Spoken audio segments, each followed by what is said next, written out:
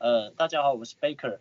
那呃，我现在做的工作就是跟影像编辑有关系。那我这次分享的书会以这两本为主。那如果他们有共同的部分，我就我就没有重复讲，就有有大部分就是共同部分我就会删掉这样子。那呃，我都会谈到两个部分，我自己觉得是核心的部分。那像是左边这一本呃《情色镜》这一本，它大部分是以女性的领导人来来讲，所以呃他的建议就是呃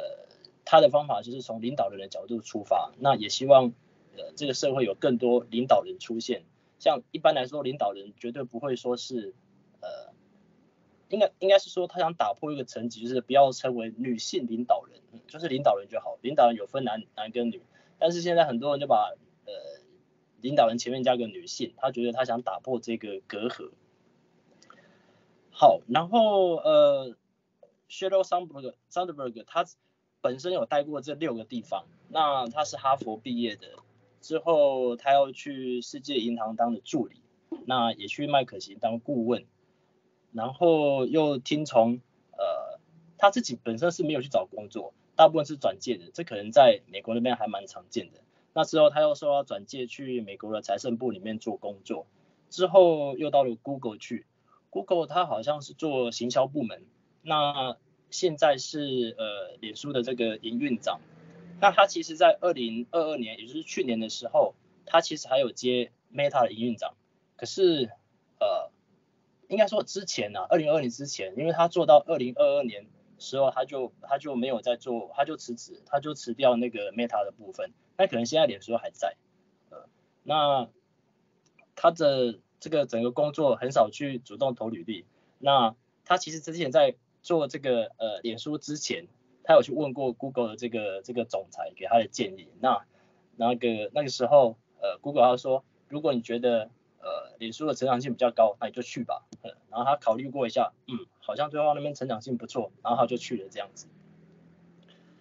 好，然后呃这本书的 TA 是谁？呃，TA 是新呃社会的新鲜人，或者是呃你可能呃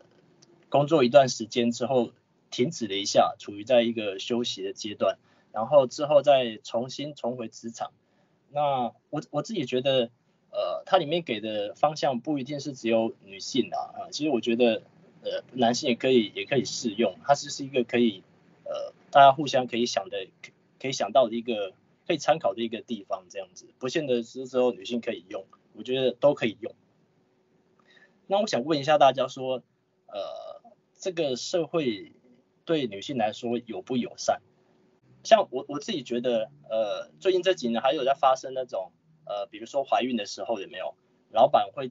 呃不太喜欢用怀孕来的来的人，呃，或者是在应征的时候他刚好就是有怀孕，呃，那尤其在中国就是更离谱，呃，你在来之前他会先调查你的做那个生理报告，那你生理报告如果显示你有怀孕的话，他就绝对不收，呃，然后呃。其实这个作者啊，他也在他也是在里面有提到说，嗯，女性其实要重回职场，其实有时候要很困难，这个这个时候要你就必须要有另另外一半的这个帮助。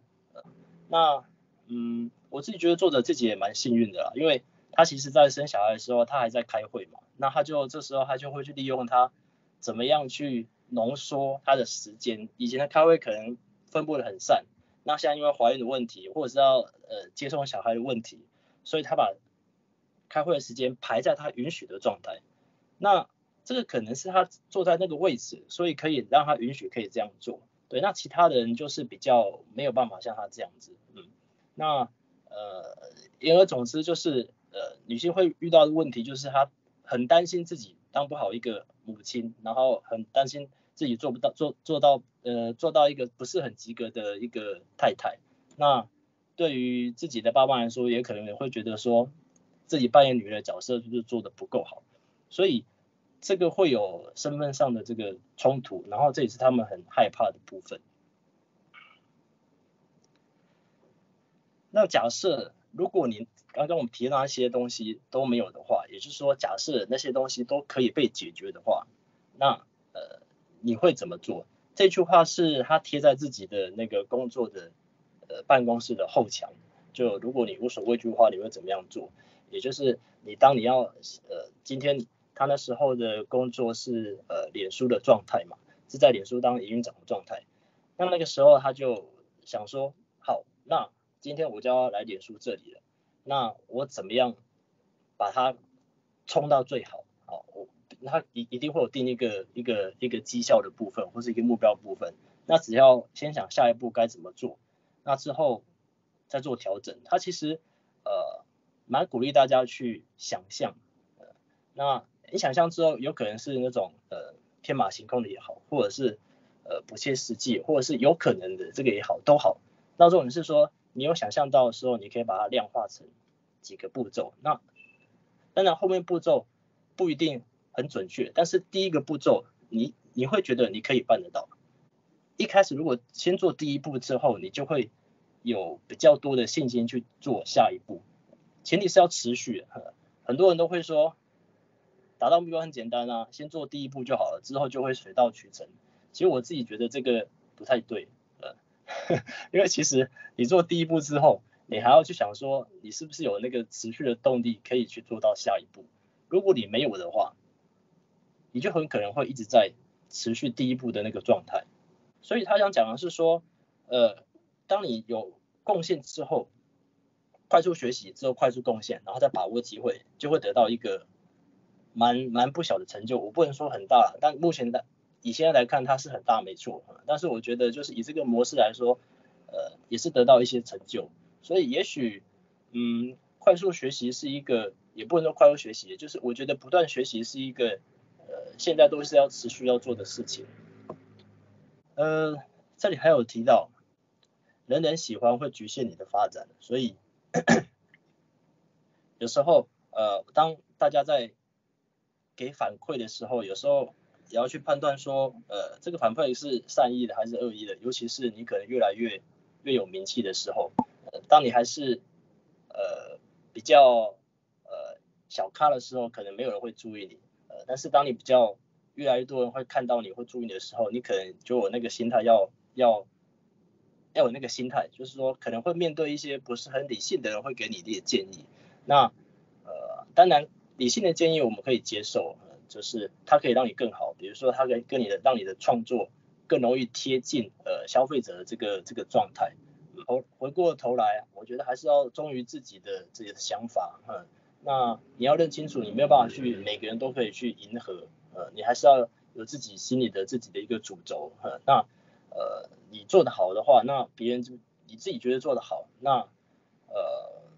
别人接不接受或者怎么样，那我觉得就可能是那一个人的课题了。你都已经做到这样子，那我觉得那就这样子就好了。嗯，我我我自己的我自己的想法是，呃，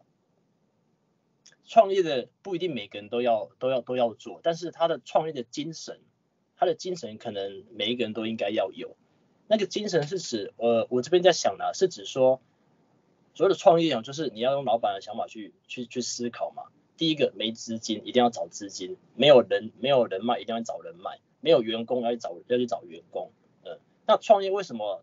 大家会很想做？因为大家都想当老板啊，大家都想收钱啊，大家都想要让员工去做事啊，因为员工就是赚钱机器，大家都派出机器好了这样子，然后他只能收钱这样子，这个理论上说是可行的。可是前提是。呃，它是一间稳定可以让你产生现金流的一间公司，也就是你要到达那个 level 那个 level 的时候，你才可以有后面这个你说你说可以可以呃再再退居幕后这样子。呃，这边回过来提到目标，呃，这个作者他建议说我们目标他建议，但我觉得这个看个人哦。他说他分为长目标跟短目标，那长目标的话可能是两年后、三年后或者是几年后的东西。那短程目标，他比较接近短程目标，他短程目标他的规划是呃十八个月，大概是一年半的时间。那一年半时间一定要看到一个成效，一定要看到呃新的技新的技术，他一定要去学新的技术。他说呃世界其实动得太快了，如果你没有持续在学习哦，你真的是很容易被被淘汰。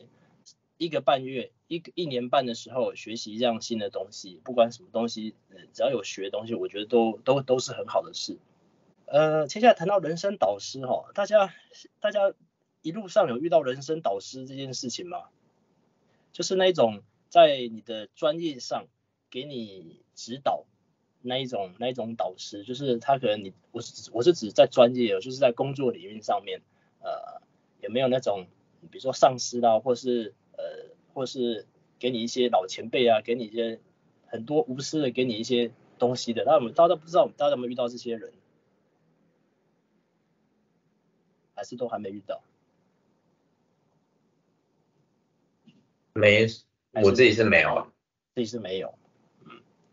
呃，人生导师其实书里面有讲，他说其实不好遇，呃，前提是你的专业性够不够，你够的话，那一个人才会去当你的，有可能会去当你的导师，呃，因为，嗯，你不可能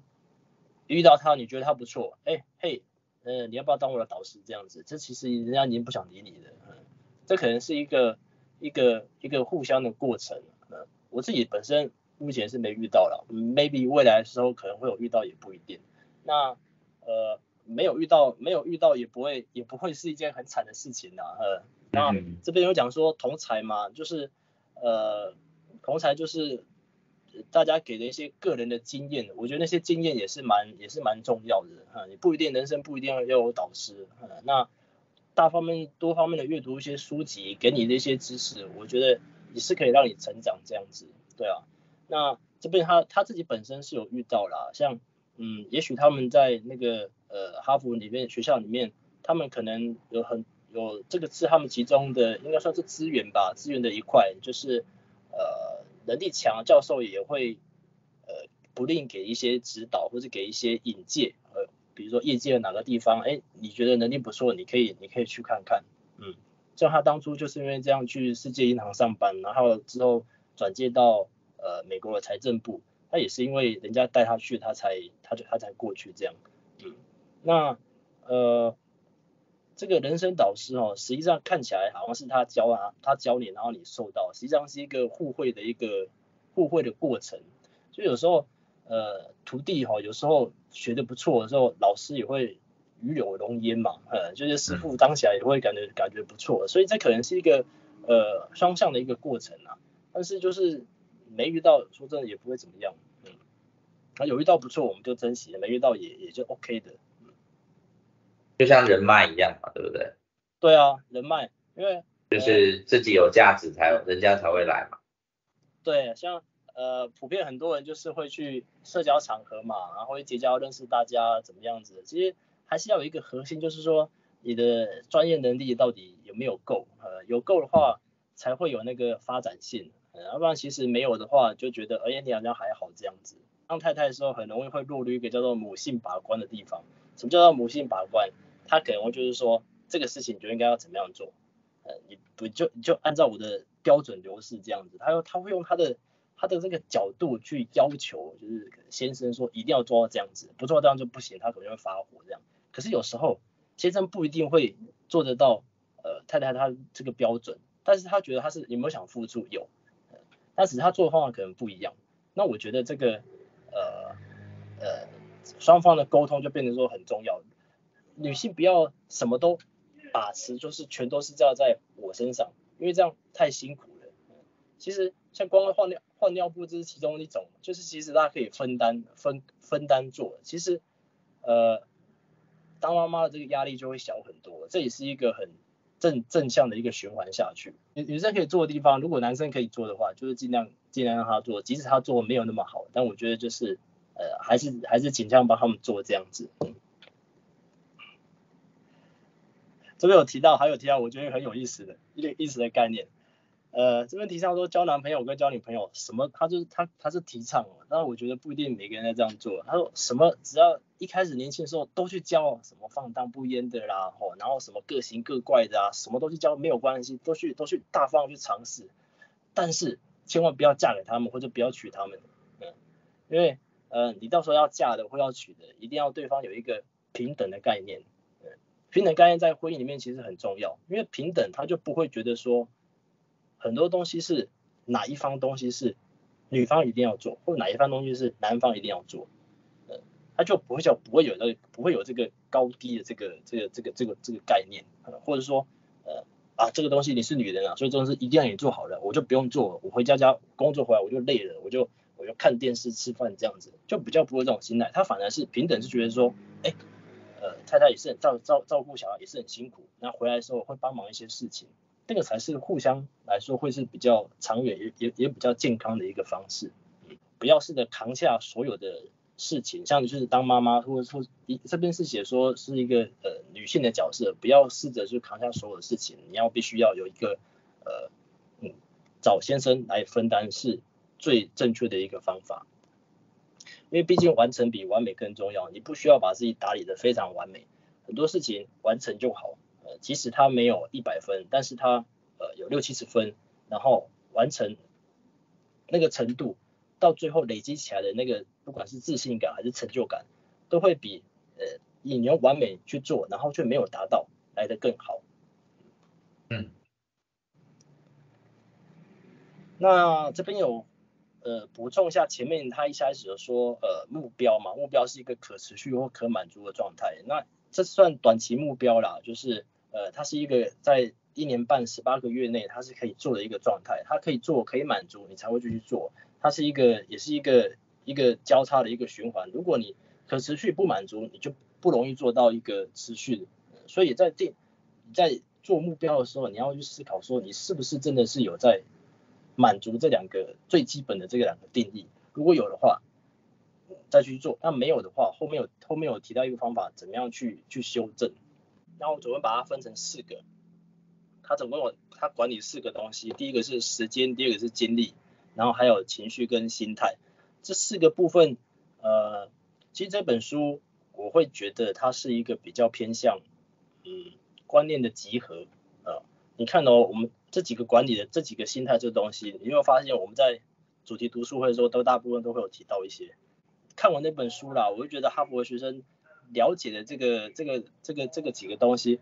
呃，我们在平常在阅读的书籍里面其实就有，甚至讲的还比较细一点。可能是他们在呃上学的时候，无意间的时候就已经把这些能力都给不自觉情况下都已经都已经用进去了。他这边有提到说时间的管理的部分，我荒荒废的今日正是昨日允生之人祈求的明日。他这边是讲说核心部分就是呃把握把握时间的这个核心把握时间的概念。那嗯，其实你如果心，如果你心中没有一个核心哦，你叫他把握时间哦，他也是他也是不会把握的。那他可能要等到一个受到一个启发，他可能哪一天受到启发的时候，他觉得说不行了，我不能这个这样浪费时间了，我必须要怎么样这样，他才能够做。那也许他那一天才才开开始也不一定啊，那就就要看那时候什么人开始觉醒，嗯，那当然如果越开始觉醒，当然是对对自己越好。呃这边他有提到用功读书哈，我们小时候都一直被人家说啊用功读书然后读书，大家有没有想过用功读书的目的是什么？他这边是讲说用功读书可以让你拥有选择的权利，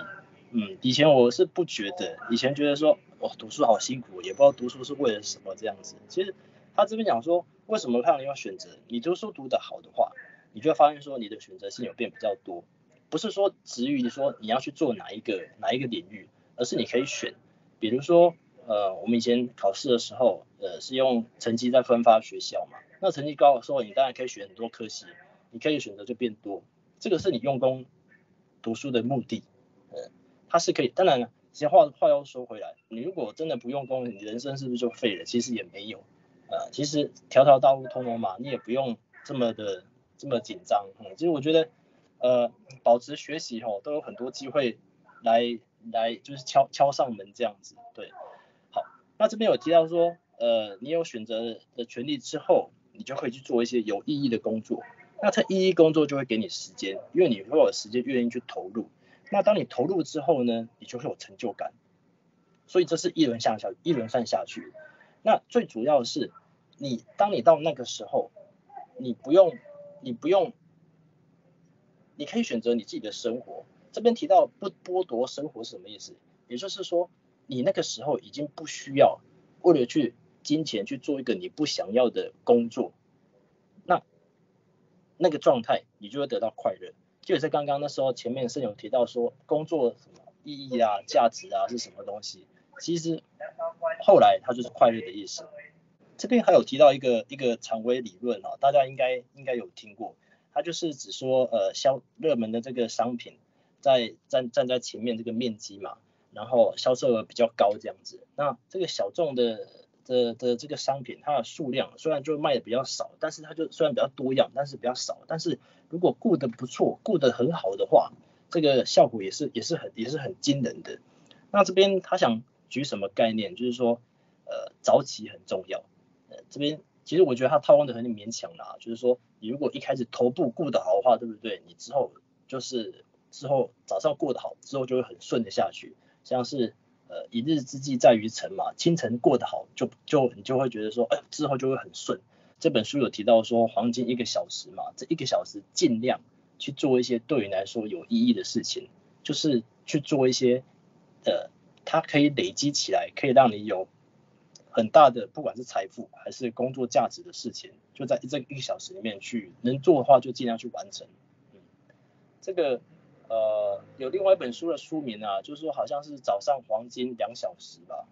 那嗯，其实不管几小时哦，我觉得有早上起来有做，总比没做好。即使它可能只有十五分钟或者是三十分钟，嗯，因为可能早上醒来不见得你一小时有一个小时的空间可以让你去。做你想做的事情，嗯，但我觉得二十分钟、三十分钟也许有可能，嗯，那这个效果累积起来就很就很惊人。这边还有提到说，呃，清醒的时间哦，呃，大家清醒的时间不知道是哪一个时段呢？这边有提到就是说，起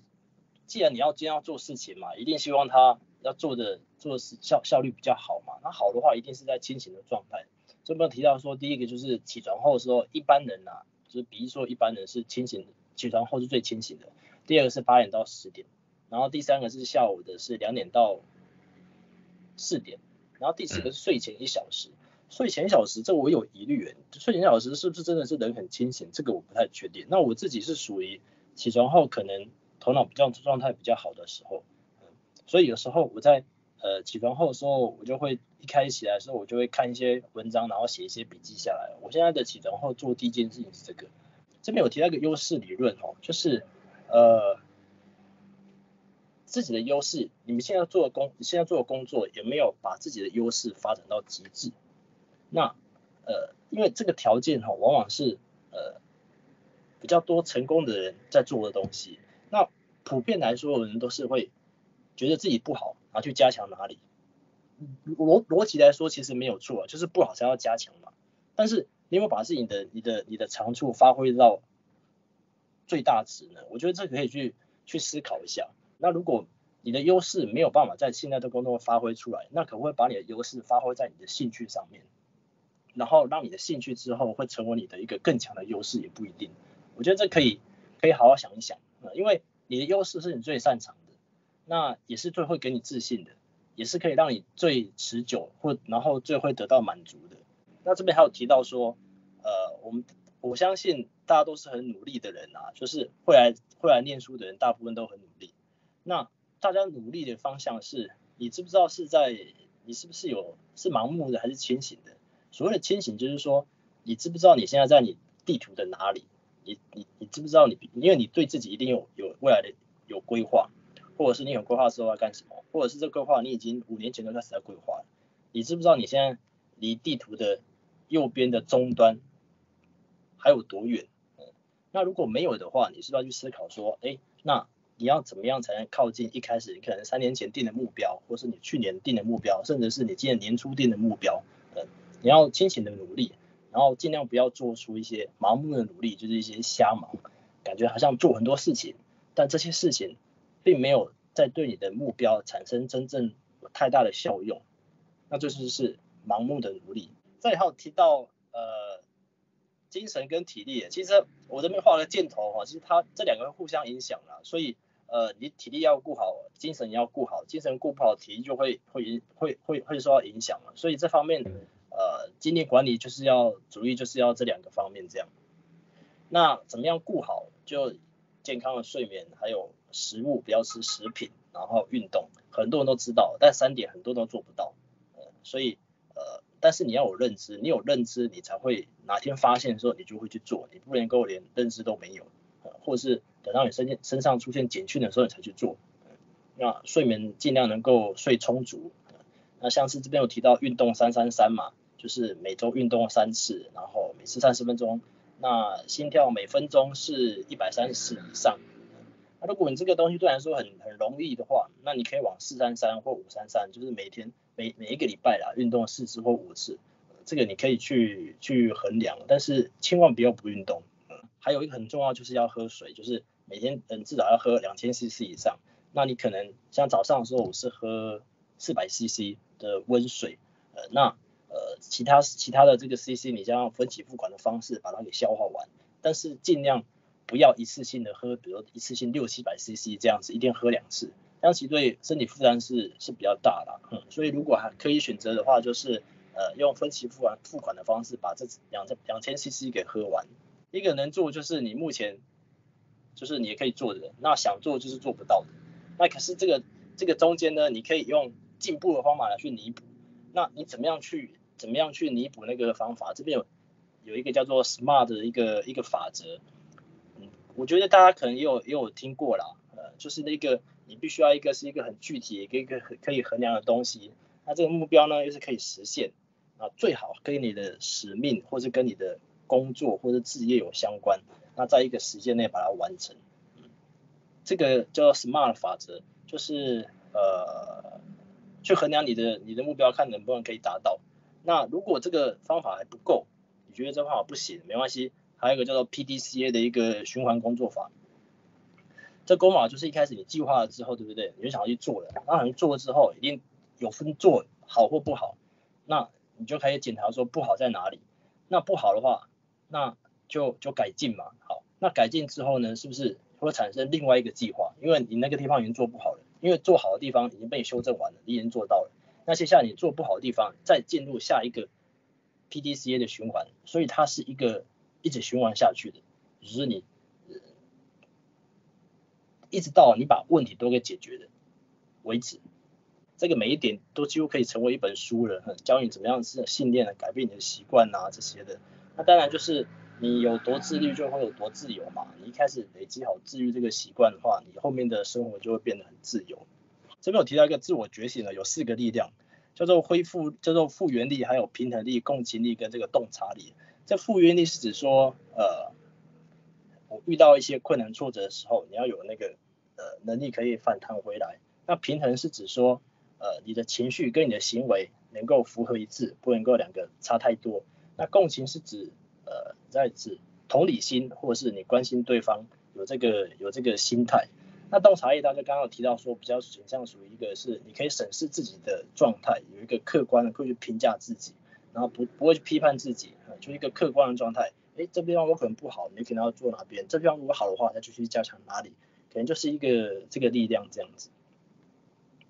那最后还有提到最后一个观念就是，呃，我们不能够有盲从跟这个从众的心态。为什么？呃，因为你必须要有独立的判断，我们必须还要做到理性的怀疑，跟跟刚刚像你一开始你有讲的权威啊，或某个领域的大师啊这种话。我都还蛮信的，那时候觉得说他都是权威，怎么讲的话还不信呢？有的时候他说，其实你还是要保留一点点这种理性的怀疑。他们讲的话，说真的也不一定是对的，有可能那一刹那是对的，可是之后就不一定是真的。嗯所以你还是要多方面的去呃收集到一些讯息，这样子。好，呃，今天的分享到这边，谢谢大家。